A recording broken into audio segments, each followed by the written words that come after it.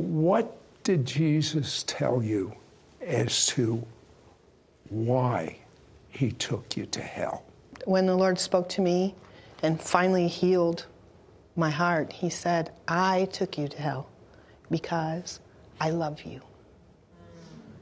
And if God had not shown that to me, if I died without him showing that to me, I know I'd be there right now. He loves me and he's mighty to save, and in that instance, that's what it took. What do you believe is the biggest lie of the devil out there? I think once saved, always saved.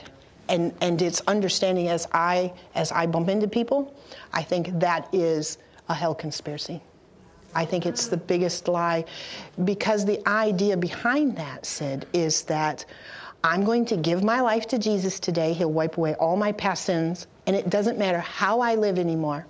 I can, I can. But that's can, the new revelation of grace, not the biblical revelation. Correct.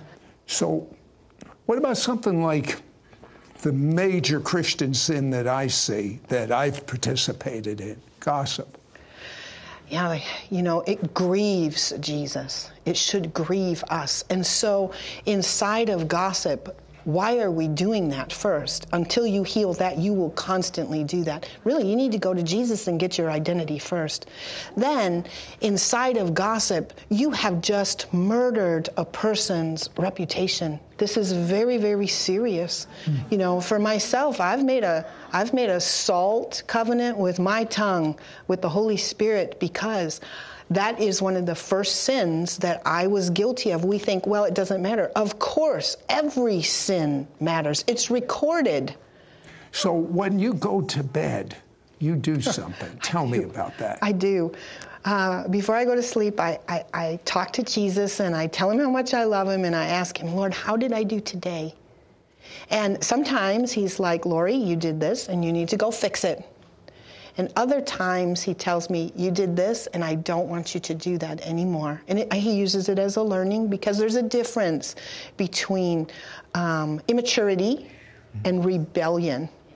And when I'm rebellious, I, he needs me to fix it. And if I'm just immature, he just trains me in a new way of doing things. Do you and can I have assurance of salvation? Absolutely. The blood of Jesus Christ saves us. Absolutely, exclamation mark. And as a born again believer, we obey Jesus. I've always lived my life. Uh, I repent a lot. And I find that if I'll do it instantly, rapidly, it's easier than if I let it get infected in me. Right, right. Well, and I try and teach repentance in four parts. One, agree with God that what you're doing is a sin.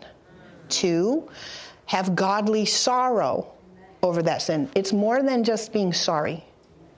Sorry, you'll do it again. Godly sorrow hurts you. Three, you confess your sin one to another, and the Bible says you'll be fervently healed. And step number four, you have to put something in place in your life that you will never do that again. And so I teach that and I help people figure out what number four do you need so that you don't sin against God again.